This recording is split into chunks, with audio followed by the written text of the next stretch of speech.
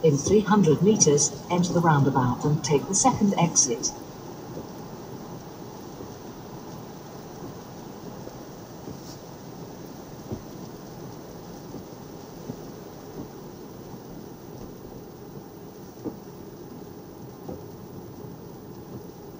Now enter the roundabout and take the second exit.